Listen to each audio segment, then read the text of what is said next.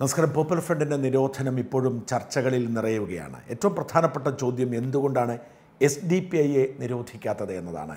ഞാൻ ആദ്യം കരുതിയത് എസ് ഡി പി ഐയെ നിരോധിക്കാൻ കേന്ദ്ര സർക്കാരിന് അവകാശമില്ല അത് തെരഞ്ഞെടുപ്പ് കമ്മീഷനായിരിക്കുമെന്നാണ് എന്നാൽ അങ്ങനെയൊന്നുമില്ല. ഏത് രാഷ്ട്രീയ പാർട്ടിയും നിരോധിക്കാൻ കേന്ദ്ര സർക്കാരിന് ആഭ്യന്തര മന്ത്രാലയത്തിന് അധികാരമുണ്ട്. അതിന്റെ കാരണങ്ങൾ നിരത്തണമെന്ന് മാത്രം. എന്നാൽ ഒരു സാമൂഹ്യ സംഘടനയെ ദേശദ്രോഹത്തിന്റെ പേരിൽ നിരോധിക്കുന്നത് പോലെ എളുപ്പത്തിൽ ഒരു രാഷ്ട്രീയ പാർട്ടിയെ നിരോധിക്കുന്നത് യുക്തിസഹമല്ല. അതുകൊണ്ട് കേന്ദ്ര സർക്കാരിന് ചെയ്യാൻ കഴിയുന്നത് എസ് ഡി പി ഐയുടെ ഇത്തരത്തിലുള്ള ഭീകരബന്ധങ്ങളുമായി ബന്ധപ്പെട്ട റിപ്പോർട്ട് തെരഞ്ഞെടുപ്പ് കമ്മീഷന് കൊടുത്തിട്ട് തെരഞ്ഞെടുപ്പ് കമ്മീഷനെ കൊണ്ട് നിരോധന ഉത്തരവ് ഇറക്കുന്നതാണ്. അതിനുള്ള സാധ്യതയാണ് ഇപ്പോൾ കാണുന്നത്. എന്ന് മാത്രമല്ല ഇതൊരു പരീക്ഷണമായി കരുതേണ്ടതുണ്ട്. പോപ്പുലർ ഫ്രണ്ടിനെ ഒറ്റയടിക്ക് നിരോധിക്കുമ്പോൾ പോപ്പുലർ ഫ്രണ്ടുകാർ എങ്ങോട്ട് പോകുമെന്ന ചോദ്യം പ്രസക്തമാണ്. പോപ്പുലർ ഫ്രണ്ടിനെ ഔദ്യോഗികമായി പിരിച്ചുവിട്ടുകൊണ്ട് ഒളിവിലായിരുന്ന അവരുടെ സംസ്ഥാന സെക്രട്ടറി അബ്ദുൾ സത്താർ ഇന്നലെ രംഗത്ത് വന്നു. വൈകാതെ തന്നെ പോലീസ് പൊക്കി എൻ ഐ എയിൽ ഏൽപ്പിക്കുകയും ചെയ്തു. അതായത് ഇനി പോപ്പുലർ ഫ്രണ്ട് ഇല്ല. പോപ്പുലർ ഫ്രണ്ടിന്റെ പ്രവർത്തകർ ഒരു തരത്തിലുള്ള സംഘടനാ പ്രവർത്തനവും നടത്തരുത് എന്ന് ഔദ്യോഗികമായി പറഞ്ഞിരിക്കുന്നു. അതുകൊണ്ട് ലക്ഷക്കണക്കിന് ആളുകളെ ഒരുമിച്ച് കൂട്ടാൻ ശക്തിയുള്ള ഒരു പ്രസ്ഥാനത്തിന് വെറുതെ ഇരിക്കാൻ സാധിക്കുമോ? നമ്മൾ കണ്ടതാണ് കോഴിക്കോട് നടന്ന അവരുടെ സമ്മേളനം. ആ സമ്മേളനം കഴിഞ്ഞ് ഒരാഴ്ച പോലും പിന്നിടുന്നതിന് മുൻപാണ് പോപ്പുലർ ഫ്രണ്ടിന് നിരോധനമുണ്ടായിരിക്കുന്നത്. ആ സമ്മേളനത്തിൽ ഏറ്റവും കുറഞ്ഞത് നാലു ലക്ഷം പേർ പങ്കെടുത്തിട്ടുണ്ട്. അതുപോലെ ഒരു സമ്മേളനം കേരളത്തിൽ സി പോലും ഇതുവരെ നടത്തിയിട്ടില്ല. അത് മലബാർ റീജിയൻ മാത്രമാണ് നോർക്കണം അതായത് തൃശ്ശൂർ മുതൽ അങ്ങോട്ടുള്ള ജില്ലയിലെ പ്രവർത്തകർ മാത്രം. അതേസമയം പോപ്പുലർ ഫ്രണ്ടിന്റെ ശക്തി കേന്ദ്രമായി വിശേഷിപ്പിക്കപ്പെടുന്നത് മലബാറല്ല അല്ല നേരെ മറിച്ച് മധ്യ തിരുവിതാംകൂറാണ്.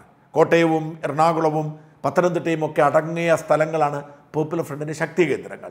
ആ പശ്ചാത്തലം കൂടി കണക്കാക്കുമ്പോൾ ഇവരുടെ ശക്തി നമുക്ക് തിരിച്ചറിയാൻ കഴിയും. അങ്ങനെ ഒരു സംഘടനയുടെ പ്രവർത്തകർ എന്തു ചെയ്യും? സ്വാഭാവികമായും അവർ മറ്റ് പാർട്ടികളിലേക്ക് ചേക്കേറും പ്രത്യേകിച്ച് സി പി എമ്മിലേക്ക്. എന്നാൽ കരുതലോടെ മാത്രമായിരിക്കും സി പി എം അവരെ സ്വീകരിക്കുക മറ്റ് രാഷ്ട്രീയ പാർട്ടികൾ സ്വീകരിക്കുക. അതുകൊണ്ട് കൂടിയാണ് എസ് ഡി പി എ നിരോധിക്കാത്തത്. ഈ പറയുന്ന പ്രവർത്തകർക്ക് ഒരു ആശ്രയമായി അത് തുടരട്ടെ. അവർ അവിടെ പോയി നന്നായാൽ നന്നാവട്ടെ. അതായത് ഇവർക്കൊരു എക്സ്ട്രീം ഇസ്ലാമിക വ്യൂ ഉണ്ട്. ആ വ്യൂ ഉള്ളവർ ഇപ്പോഴത്തെ സാഹചര്യത്തിൽ ഇനിയെങ്കിലും ഞങ്ങൾ മര്യാദയ്ക്ക് രാജ്യത്തിന്റെ ഭരണഘടന അനുസരിച്ച് പ്രവർത്തിച്ചോളാം എന്ന തിരിച്ചറിവോടുകൂടി എസ് ഡി പി ഐയിൽ പ്രവർത്തിക്കുന്നെങ്കിൽ എസ് ഡി പി ഐ നന്നാവുന്നെങ്കിൽ നന്നാവട്ടെ. ഒരവസരം കൂടി അവർക്ക് കൊടുത്തിരിക്കുന്നതാണ് അതേസമയം എൻ ഐ എയുടെ ചാരക്കണ്ണുകൾ ഇനി ഏറ്റവും കൂടുതലുണ്ടാവുക എസ് ഡി പി ഐയിലാവും കാരണം നിരോധിക്കപ്പെട്ടിരിക്കുന്ന പോപ്പുലർ ഫ്രണ്ടും അതിന്റെ മറ്റ് പോഷക സംഘടനകളും നടത്തിയിരിക്കുന്ന നിയമവിരുദ്ധ പ്രവർത്തനങ്ങൾ എസ് ഡി പി ഐയിലൂടെ തുടർന്നാൽ അല്ലെങ്കിൽ എസ് ഡി പി ഐയുടെ മറവിൽ തുടർന്നാൽ അവർക്ക് പിടിക്കാൻ എളുപ്പമാണ്. ചുരുക്കി പറഞ്ഞാൽ നന്നാവാൻ ഒരു അവസരം കൊടുത്തിരിക്കുകയാണ്. നന്നാവുന്നെങ്കിൽ അവർക്ക് നന്നായി മുമ്പോട്ട് പോകാം. അതല്ല ഇപ്പോഴത്തെ തീവ്രവാദ പ്രവർത്തനം മുസ്ലിം ഇരവാദം ഉയർത്തിക്കൊണ്ടുള്ള ഇപ്പോഴത്തെ അക്രമം അത് തുടരാനാണ് പദ്ധതിയെങ്കിൽ അടുത്തത് എസ് ഡി പി ആയിരിക്കുമെന്ന് തീർച്ചയാണ്. ഇപ്പോൾ പുറപ്പെടുവിച്ചിരിക്കുന്ന നിരോധനം നിസ്സാരമല്ല. പോപ്പുലർ ഫ്രണ്ട് എന്ന് പറയുന്ന ഒരു അംബ്രല ഓർഗനൈസേഷൻ അതിന്റെ കീഴിൽ പ്രവർത്തിക്കുന്ന പോഷക സംഘടനകൾ. അവയെല്ലാം ഒരുമിച്ചാണ് നിരോധിച്ചത്. എൻ ഐ എ പറയുന്ന നിരീക്ഷണം ശ്രദ്ധേയമാണ്. പോഷക സംഘടനകൾ junior front women's front campus front തുടങ്ങിയ പോഷക സംഘടനകൾ. ഈ പോഷക സംഘടനകളാണ് വിവിധ ആളുകൾക്കിടയിലേക്ക് സ്വാധീനവുമായി കടന്നു കയറുന്നത് അവിടെ അവർ കടന്നു കയറുന്നത് ഒരു മുസ്ലിം വിഷയം ഉയർത്തിപ്പിടിച്ചുകൊണ്ടല്ല. നേരെ മറിച്ച് മറ്റ് വിഷയങ്ങൾ ജനറൽ വിഷയം ഉയർത്തിപ്പിടിച്ചു. ഉദാഹരണത്തിന് മനുഷ്യാവകാശ സംഘടനകളുടെ കൂട്ടായ്മയുണ്ട്. അവിടെ മനുഷ്യാവകാശ പ്രശ്നങ്ങളാണ് ജനകീയ പ്രശ്നങ്ങളാണ് ജനകീയ പ്രതിരോധത്തിന്റെ വിഷയങ്ങളൊക്കെയാണ് ഉയർത്തിപ്പിടിക്കുന്നത്. അവർക്ക് പിന്തുണ കൊടുക്കുന്നു. അങ്ങനെ അവരുടെ ഇടയിലേക്ക് കയറി ചെല്ലുന്നു. രാജ്യത്ത് എവിടെയെങ്കിലുമൊക്കെ ജനകീയ പ്രക്ഷോഭങ്ങൾ ഉണ്ടെങ്കിൽ അവിടേക്ക് അവർ കയറി ചെല്ലുന്നു. അതുപോലെ തന്നെയാണ് വിദ്യാർത്ഥികൾക്കിടയിൽ സ്ത്രീകൾക്കിടയിൽ ക്യാമ്പസുകളിലൊക്കെ വിവിധ സംഘടനകളിലൂടെ അവർ കയറി ചെയ്തത് ഒരു വശത്ത്. മറുവശത്ത് റിഹാബ് ഫൗണ്ടേഷനും എംപവർ ഫൗണ്ടേഷനും ഇത് രണ്ടും ഫണ്ട് ശേഖരണമാണ്. അവർ പറയുന്നത് ജീവകാരുണ്യ സംഘടന എന്നാണ് എന്നാൽ ജീവകാരുണ്യ സംഘടനയുടെ മറവിൽ അവർ ശേഖരിക്കുന്ന ഫണ്ട് അത് പോപ്പുലർ ഫണ്ടിനും മറ്റ് പോഷക സംഘടനകൾക്കും വേണ്ടിയാണ് ഇനി എസ് ഡി പി ഐ അതിന്റെ രാഷ്ട്രീയ മേഖലയാണ്. എസ് ഡി പി ഐ മാത്രമാണ് പുറത്തുവിട്ടിരിക്കുന്നത്. ഇതെല്ലാം തമ്മിൽ ബന്ധപ്പെട്ടിരിക്കുന്നു. എസ് ഡി പി ഐയെ തൽക്കാലം പ്രവർത്തിക്കാൻ അനുവദിച്ചിരിക്കുന്നു. ഈ പറയുന്ന എല്ലാ പ്രസ്ഥാനങ്ങളെയും ഏകീകരിക്കുന്നത് കോർഡിനേറ്റ് ചെയ്യുന്നത് അത് പോപ്പുലർ ഫ്രണ്ടാണ് അതുകൊണ്ടാണ് പോപ്പുലർ ഫ്രണ്ട് നിരോധനം എന്ന് പറയുന്നത്. പോപ്പുലർ ഫ്രണ്ടാണ് പ്രധാന സംഘടന അംബ്രല ഓർഗനൈസേഷൻ അതുകൊണ്ട് ഇതൊരു കൂട്ടായ്മയാണെന്നും ആ കൂട്ടായ്മ നിരോധിക്കുന്നു എന്നുമാണ് ഇവർ പറയുന്നത്. ഈ നിരോധനം വെറും പ്രവർത്തന സ്വാതന്ത്ര്യ നിഷേധമല്ല. പലരും പറയുന്നു പോപ്പുലർ ഫ്രണ്ട് പേര് മാറ്റി പുറത്തു വരും. പോപ്പുലർ ഫ്രണ്ട് ഓഫ് ഇന്ത്യ എന്നുള്ളത് ഫ്രണ്ട് ഓഫ് ഇന്ത്യ എന്നാക്കിയാൽ പോരെ. അല്ലെങ്കിൽ മറ്റൊരു പേരിട്ടാൽ പോരെ. അവർക്ക് ഈ പ്രവർത്തകർക്കെല്ലാം വരാമല്ലോ എന്ന ചോദ്യമാണ് സിമിയുടെ ഉദാഹരണമാണ് പറയുന്നത്. തൊണ്ണൂറ്റിയേഴിൽ അലിഗഡ് മുസ്ലിം സർവകലാശാലയിൽ തുടങ്ങിയ സംഘടനയാണ് സിമി അല്ലെങ്കിൽ സ്റ്റുഡൻസ് ഇസ്ലാമിക് മൂവ്മെന്റ് എന്ന് പറയുന്നത്. ഈ സംഘടന ഈ വേരി പിടിക്കാൻ കാരണം തൊണ്ണൂറ്റി മൂന്നിൽ ബാബറി മസ്ജിദ് തകർത്തതാണ്. ആ ഒരു വികാരം നെഞ്ചിലേറിയിരുന്നവർ വാസ്തവത്തിൽ ആദ്യം രംഗത്ത് വരുന്നത് മദനിയിലൂടെയാണ്. ഐ എസും പി ഡി പിയും ഒക്കെ ആയി. എന്നാൽ മദനി ജയിലിലായതോടെ മദനി ഭീകരവാദിയായി ചിത്രീകരിക്കപ്പെട്ടതോടെ സിമി രൂപീകരിക്കപ്പെടുകയാണ്. അങ്ങനെ സിമി തൊണ്ണൂറ്റിയേഴിൽ രൂപീകരിക്കപ്പെടുന്നു. രണ്ടായിരത്തി ഒന്ന് വരെ സിമി ശക്തമായി പടരുന്നു. രാജ്യത്തെ പലയിടങ്ങളിലും പല കാമ്പസുകളിലും സിമി ശക്തി പ്രാപിക്കുന്നു. സിമിക്ക് നിരവധി നേതാക്കളുണ്ടാകുന്നു. ഇപ്പോഴത്തെ മുസ്ലിം ലീഗ് നേതാവ് സമദാനി മുൻ മന്ത്രിയായിരുന്ന കെ ടി ജലീലുമൊക്കെ സിമിയുടെ ആദ്യകാല നേതാക്കളാണ്. രണ്ടായിരത്തി ഒന്നിൽ അമേരിക്കയിൽ വേൾഡ് ട്രേഡ് സെന്റർ ആക്രമിച്ചതോടെ ലോകമെമ്പാടും ഇത്തരം ഭീകര സംഘടനകൾക്ക് മേൽ നിയന്ത്രണം ഉണ്ടാകുന്നു അക്കൂട്ടത്തിൽ സിമി നിരോധിക്കപ്പെടുകയാണ്. ഈ സിമി നിരോധിച്ചപ്പോൾ അതിലെ ചില ആളുകൾ മുഖ്യധാര രാഷ്ട്രീയ പാർട്ടിയിലേക്ക് മാറി ജലീൽ സി പി എമ്മിൽ പോയതും സമദാനി ലീഗിൽ പോയതും അതിന്റെ ഭാഗമാണ്. എന്നാൽ സിമിയുടെ തീവ്ര ചിന്താഗതി പുലർത്തിയിരുന്ന നേതാക്കൾ അവിടെ തുടർന്നു. അവർ പൊടുന്നനെ മറ്റൊരു സംഘടന ഉണ്ടാക്കി എൻ ഡി എഫ് എന്ന പേരിൽ. വാസ്തവത്തിൽ ആയിരത്തി തൊള്ളായിരത്തി എൺപത്തൊൻപത് മുതൽ എൻ ഡി എഫ് ഉണ്ടായിരുന്നു. എൻ ഡി എഫ് സിമിയുമായി ബന്ധമൊന്നുമില്ല. എൻ ഡി എഫ് എന്ന് പറയുന്നത് നാദാപുരം ഡിഫൻസ് ഫോഴ്സ് ആയിരുന്നു. നാദാപുരം കലാപത്തിന്റെ പശ്ചാത്തലത്തിൽ രൂപീകരിക്കപ്പെട്ട ഒരു പ്രാദേശിക സംഘടന. അതിന്റെ short form Nadapuram defence force എന്ന് മാറ്റി നാഷണൽ ഡെമോക്രാറ്റിക് ഫ്രണ്ട് എന്നാക്കുന്നു എൻ ഡി എഫ് അങ്ങനെ എൻ ഡി എഫ് ഒരു ദേശീയ സംഘടനയാക്കി രൂപീകരിച്ചുകൊണ്ട് ഈ സിമിയിലെ നേതാക്കന്മാർ ഇപ്പോൾ അറസ്റ്റിലായ പ്രൊഫസർ കോയെ അടക്കമുള്ള നേതാക്കന്മാർ അങ്ങോട്ട് മാറുകയാണ്. എൻ ഡി എഫ് അക്കാലത്തെ തീവ്ര പ്രവർത്തനങ്ങളിൽ ഏർപ്പെടുന്നു. പലതരത്തിലുള്ള രാഷ്ട്രീയ കൊലപാതകങ്ങൾക്കൊക്കെ എൻ ഡി എഫ് പ്രതികളാവുന്നു. രാഷ്ട്രീയ പാർട്ടികൾ തള്ളിപ്പറയുന്നു. അത്തരമൊരു സാഹചര്യം ഒന്ന് നിരോധിക്കപ്പെടുന്ന ഘട്ടമുണ്ടായപ്പോൾ രണ്ടായിരത്തി ആറിൽ എൻ ഡി എഫ് സ്വയം അവസാനിച്ച് അത് പോപ്പുലർ ഫ്രണ്ടായി മാറുകയാണ്. പോപ്പുലർ ഫ്രണ്ട് എൻ ഡി എഫിനേക്കാൾ വലിയ സംഘടനയാണ്. കേരളത്തിലും തമിഴ്നാട്ടിലും കർണാടകയിലുമുള്ള മൂന്ന് സംഘടനകൾ സംയോജിച്ചു തുടങ്ങിയെങ്കിലും ഉദ്ഘാടന സമയത്ത് തന്നെ മറ്റ് സംസ്ഥാനങ്ങളിലെ സംഘടനകളും ചേർന്നു. അങ്ങനെയാണ് രണ്ടായിരത്തി ആറ് മുതൽ പതിനാറ് വർഷം കൊണ്ട് ഈ സംഘടന രാജ്യത്തെ തന്നെ ഏറ്റവും വലിയ ഇസ്ലാമിക സംഘടനയായി മാറിയത്. അങ്ങനെ വളർന്ന ആ സംഘടനയുടെ അടിവേരാണ് ഇപ്പോൾ മാന്തിയിരിക്കുന്നത്. അതുകൊണ്ടാണ് പലരും ചോദിക്കുന്നത് സിമിയെ നിരോധിച്ചിട്ട് എന്തുണ്ടായി? വളർന്നതല്ലേ ഉള്ളൂ പല പേരിൽ നിന്ന്. പക്ഷെ അങ്ങനെയല്ല. അതിന്റെ ആദ്യത്തെ കാരണം സിമിയെ നിരോധിച്ചത് കോൺഗ്രസ് സർക്കാരാണ്. കോൺഗ്രസ് സർക്കാരിനെ വലിയ കാര്യമൊന്നുമില്ല നിരോധിക്കാൻ ആവശ്യമുണ്ടെന്ന് നിരോധിച്ചു. അതിനപ്പുറത്തേക്ക് വേണ്ട ഹോംവർക്കുകൾ അവർ ചെയ്തിരുന്നില്ല. ഇത് നിരോധിക്കുന്നത് സംഘപരിവാർ സർക്കാരാണ്.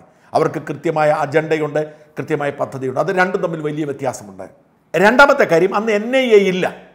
അതുകൊണ്ട് സംസ്ഥാനങ്ങളിൽ ഇടപെടാൻ പരിമിതികളുണ്ടായിരുന്നു. സി ബി ഐക്കായിരുന്നു അവകാശം ഉണ്ടായിരുന്നത് എന്നാൽ ഇപ്പോൾ എൻ ഐ എ ഉണ്ട്. സംസ്ഥാനങ്ങളുടെ അധികാരം അവർക്ക് പ്രസക്തമല്ല. എപ്പോൾ വേണമെങ്കിലും ഭീകരവാദ വിഷയം അവർക്ക് തിരിച്ചറിഞ്ഞാൽ എവിടെയും കയറി ചെല്ലാം. കഴിഞ്ഞ ദിവസം കയറി വന്നതുപോലെ കേരള പോലീസ് പോലും അറിഞ്ഞില്ല. ആ ഒരു വ്യത്യാസമുണ്ട്. മൂന്നാമത്തെ കാര്യം എൻ ഐ എ രണ്ടു വർഷം ഇ ഡിയോട് ചേർന്ന് ഇന്റലിജൻസ് ബ്യൂറോയോട് ചേർന്ന് വിശദമായി അന്വേഷണം നടത്തി. തെളിവുകൾ ശേഖരിച്ച് രേഖകൾ ശേഖരിച്ച് സാമ്പത്തിക ഇടപാടുകൾ കണ്ടെത്തി ഭീകരവാദ പ്രവർത്തനങ്ങളുടെ തെളിവ് കണ്ടെത്തി അന്താരാഷ്ട്ര ഭീകര സംഘടനയോട് ബന്ധം കണ്ടെത്തി ആഭ്യന്തര വിഷയങ്ങളിൽ അവരുടെ ഇടപെടൽ കണ്ടെത്തി പ്രൊഫസർ ടി ജെ ജോസഫിന്റെ കൈവെട്ട് മുതലുള്ള മുഴുവൻ കൊലപാതകങ്ങളും കണ്ടെത്തി വിലയിരുത്തി തെളിവുകൾ ശേഖരിച്ച്. ആർക്കും ചോദ്യം ചെയ്യാൻ കഴിയാത്ത തെളിവുകളോടുകൂടിയാണ് നിരോധിച്ചിരിക്കുന്നത്. അതുകൊണ്ട് തന്നെ സിമിയുടെ നിരോധനം പോലെ അത്ര എളുപ്പത്തിൽ മറികടക്കാൻ സാധ്യമല്ല. ഒരു പതിനായിരം പേരുടെയെങ്കിലും ഡാറ്റാ ബാങ്ക് ഇതിനോടകം എൻ ഐ എ കരസ്ഥമാക്കിയിട്ടുണ്ട് പീപ്പിൾ ഫ്രണ്ടുമായി നേരിട്ടോ അല്ലാതെയോ ബന്ധമുള്ള ഏറ്റവും കുറഞ്ഞ പതിനായിരം പേരുടെയെങ്കിലും നീക്കങ്ങൾ നിരീക്ഷിച്ചുകൊണ്ടിരിക്കും. അവരുടെ സാമ്പത്തിക ഇടപാടുകൾ നിരീക്ഷിച്ചുകൊണ്ടിരിക്കും. അതുകൊണ്ട് അവർക്ക് ഒളിവിൽ കഴിഞ്ഞ് എന്തെങ്കിലും ചെയ്യാമെന്ന് പ്രതീക്ഷിക്കേണ്ട കാരണം ആരൊക്കെ എവിടെയൊക്കെ താമസിക്കുന്നു എന്തൊക്കെ ചെയ്യുന്നു എന്നത് ഇനി ഇന്റലിജൻസ് ബ്യൂറോയുടെയും എൻ ഐ എയുടെയും കണ്ണിലായിരിക്കും. അതുകൊണ്ട് പഴയ നിരോധനം പോലെയല്ല ഈ നിരോധനം. മറികടക്കാൻ പ്രയാസമാണ്. സ്വാഭാവികമായ മരണം മാത്രമാണ് പോപ്പുലർ ഫ്രണ്ടിന് മുമ്പിലുള്ള വഴി. അത് തിരിച്ചറിഞ്ഞാണ് പോപ്പുലർ ഫ്രണ്ടിനെ ഔദ്യോഗികമായി പിരിച്ചുവിട്ടത്. ഇനി അവർക്ക് ചെയ്യാൻ കഴിയുന്നത് എങ്ങനെയെങ്കിലും ഈ നേതാക്കന്മാരെ പുറത്തിറക്കുക എന്നത് മാത്രമാണ്. അവർക്കൊരു പിന്തുണയുമില്ല. എല്ലാ രാഷ്ട്രീയ പാർട്ടികളും എല്ലാ മതസംഘടനകളും തള്ളിപ്പറഞ്ഞു. പ്രത്യേകിച്ച് മുസ്ലിം സംഘടനകൾ തള്ളിപ്പറഞ്ഞു. എല്ലാ നേതാക്കന്മാരും. ആ പടി ഇപ്പോൾ അവരെ പിന്തുണയ്ക്കുന്നത് ഏക സംഘടന ജമാഅത്ത് ഇസ്ലാമിയാണ്. ജമാഅത്ത് ഇസ്ലാമി നാളെ അവർക്ക് സമാനമായ ഒരു സാഹചര്യം ഉണ്ടാവുമെന്ന് ഭയപ്പെടുന്നത് കൊണ്ട് ജമാഅത്ത് ഇസ്ലാമി മാത്രം പരസ്യമായി തന്നെ രംഗത്തുണ്ട്. പക്ഷേ അധികകാലം ആ പിന്തുണ ഉണ്ടാവുകയില്ല. ഇവിടെ ശ്രദ്ധിക്കേണ്ട ഒരു കാര്യം കൂടിയുണ്ട്. ഒന്ന് നിരോധനം സമ്പൂർണ നിരോധനമാണ്. പലരും കരുത് അഞ്ച് വർഷത്തേക്ക് നിരോധിച്ചു. അങ്ങനെയാണ് അതിന്റെ രീതി. അഞ്ച് വർഷത്തേക്കാണ് നിരോധിക്കുന്നത്. ഇപ്പോൾ സിമിയെ രണ്ടായിരത്തി ഒന്നിൽ നിരോധിച്ചു. അഞ്ച് വർഷം കൂടി മാറിക്കൊണ്ടിരിക്കുകയാണ്. രണ്ടായിരത്തി പത്തൊൻപതിലാണ് ഏറ്റവും ഒടുവിൽ നിരോധിച്ചത്. അതാണ് അതിന്റെ രീതി നിയമം അങ്ങനെയാണ് പറയുന്നത്. രണ്ടായിരത്തി എട്ടിൽ സിമിയുടെ നിരോധനം ട്രിബ്യൂണൽ തള്ളിക്കളഞ്ഞിരുന്നു. പലരും ഇപ്പോൾ പറയുന്നുണ്ട് ട്രിബ്യൂണലിൽ വരുമ്പോൾ എന്താവും? ട്രിബ്യൂണൽ തള്ളിക്കളഞ്ഞിരുന്നു. നിരോധനം വേണ്ട എന്ന് പറഞ്ഞു പക്ഷേ സുപ്രീം കോടതി സ്റ്റേ ചെയ്തു. അതുകൊണ്ട് ട്രിബ്യൂണലിൽ പോയി എന്നതുകൊണ്ട് മാത്രം നിരോധനത്തെ മറികടക്കാനും സാധ്യമല്ല. ട്രിബ്യൂണലിൽ പോവുക എന്നതൊരു ഓപ്ഷൻ മാത്രമാണ്. അതിനപ്പുറത്തേക്ക് സുപ്രീം കോടതി സുപ്രീം കോടതിക്ക് സ്റ്റേ ചെയ്യാം. സിമിയുടെ കാര്യത്തിൽ അതാണ് സംഭവിച്ചിരിക്കുന്നത്. ഇവിടെ ഒരു കാര്യം കൂടി പ്രത്യേകം എടുത്ത് പറയണം. ഈ നിരോധനം വെറും നിരോധനമല്ല. ഈ നേതാക്കന്മാർക്കും പോപ്പുലർ ഫ്രണ്ടുമായി ബന്ധപ്പെട്ടവർക്കും സോഷ്യൽ മീഡിയയിൽ അഭിപ്രായം പറയാനുള്ള അവകാശം പോലും നിരോധിച്ചിരിക്കുകയാണ്. വാസ്തവത്തിൽ സോഷ്യൽ മീഡിയയിലൂടെയാണ് ഇവർ വളർന്നിരുന്നത്. വളരെ എൻ ഐ എയുടെ റിപ്പോർട്ടിൽ പറയുന്നത് ഒരു പ്രത്യേക സമുദായത്തിൽപ്പെട്ടവർക്ക് അരക്ഷിതാവസ്ഥയുണ്ട് എന്ന തോന്നലുണ്ടാക്കി. അത്തരത്തിൽ പ്രചരണം നടത്തി. അവരെ ദേശവിരുദ്ധ ചിന്തകളിലേക്ക് നയിക്കുന്നു എന്നതാണ് ഇവർക്കെതിരെയുള്ള ഏറ്റവും വലിയ ആരോപണം. ഇതൊരു സത്യമാണ്. ആ ദേശവിരുദ്ധ ചിന്ത ഉണ്ടാക്കാൻ ഇരവാദമുണ്ടാക്കാൻ അല്ലെങ്കിൽ ഞങ്ങൾ തമസ്കരിക്കപ്പെടുന്നു ഇവിടെ വംശഹത്യക്ക് ഇരയാകാൻ പോകുന്നു എന്ന പ്രചരണം ഉണ്ടാക്കാൻ ഉപയോഗിച്ചിരുന്ന സോഷ്യൽ മീഡിയ. ഈ പറയുന്ന പോപ്പുലർ ഫ്രണ്ടിന്റെ ചിന്താഗതി ഇസ്ലാമിക ചിന്താഗതി ഏറ്റവും സജീവമായി പ്രചരിപ്പിക്കുന്നത് സോഷ്യൽ മീഡിയ. അതിന് നിരോധനമുണ്ടായി. പോപ്പുലർ ഫ്രണ്ടിന്റെ ആശയത്തോടെ അവരുടെ നിലപാടിനോട് യോജിക്കുന്ന തരത്തിലുള്ള ഏതെങ്കിലും തരത്തിലുള്ള സോഷ്യൽ മീഡിയ ഇടപെടലുകൾ ഉണ്ടായാൽ അതും ഈ യു എ പി എ നിയമം അനുസരിച്ച് അറസ്റ്റ് ചെയ്യപ്പെടുന്ന കുറ്റമായി മാറും. ഈ കുറ്റം ചുമത്താനുള്ള അവകാശം കേരള പോലീസിന് കൊടുത്തുകൊണ്ട് അല്ലെങ്കിൽ സംസ്ഥാന പോലീസുകൾ കൊടുത്തുകൊണ്ട് പ്രത്യേക ഉത്തരവിറങ്ങിയിട്ടുണ്ട്. അതായത് കേന്ദ്രത്തിന്റെ പ്രധാനപ്പെട്ട പണി തീർന്നു. അവർ ഇനി നിരീക്ഷണത്തിലാണ്. ഇനി ഉത്തരവാദിത്വം സംസ്ഥാന പോലീസിനാണ്. പ്രത്യേക വിജ്ഞാപനം ഇന്നലെ ഇറങ്ങി. വിജ്ഞാപനം അനുസരിച്ച് ഈ നിരോധനവുമായി ബന്ധപ്പെട്ട അനുബന്ധ നടപടികൾ സോഷ്യൽ മീഡിയയിൽ പോസ്റ്റ് ഇടുന്നവർക്കെതിരെ അല്ലെങ്കിൽ ഈ പോപ്പുലർ ഫ്രണ്ടിന്റെ ആശയങ്ങൾ പ്രചരിപ്പിക്കുന്നവർക്കെതിരെയൊക്കെ നടപടിയെടുക്കാൻ രണ്ടു വർഷം വരെ തടവ് കിട്ടാവുന്ന കുറ്റം ചുമത്താനുള്ള അവകാശം പോലീസിന് കൊടുത്തിരിക്കുന്നുണ്ട് കേരള പോലീസ് അത് ശിരസ വഹിച്ചിരിക്കുന്നു മുഖ്യമന്ത്രിയും ഡി ജി പിയും ആഭ്യന്തര സെക്രട്ടറിയും അഡീഷണൽ ഡി ജി പിയും ഒക്കെ ചേരുന്ന സംഘം യോഗം ചേർന്ന് അടിയന്തരമായി കേന്ദ്ര സർക്കാരിന്റെ ഉത്തരവനുസരിച്ചുള്ള നടപടികളുമായി മുമ്പോട്ട് പോകാൻ തീരുമാനിച്ചിട്ടുണ്ട്. ഈ തീരുമാനം ആ പോപ്പുലർ ഫ്രണ്ടിന്റെ പ്രതീക്ഷ ഇല്ലാതാക്കുന്നതാണ്. കാരണം മോദിയുടെ പോലീസ് ആയിരിക്കില്ല പിണറായിയുടെ പോലീസ് ആയിരിക്കും ഇനി ഇവരെ പിടിച്ച് ചുരുട്ടിക്കൂട്ടി അകത്തിടുക.